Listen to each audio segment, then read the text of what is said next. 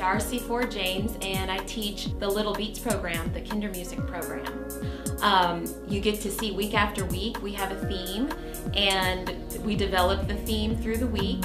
By the end of the month, they get to know the songs really well and they're singing the songs. It's a lot about child development and about getting your children to develop their skills, their social skills, their musical skills, um, their spatial awareness, all of those things that we don't really think about when we think it's music. They're, they're doing so much more. The thing that touches me the most is to see the bonding between the parent and child. And if you're looking for having a really quality experience with your child, then doing the, the Little Beats Kindermusik program, I definitely recommend it.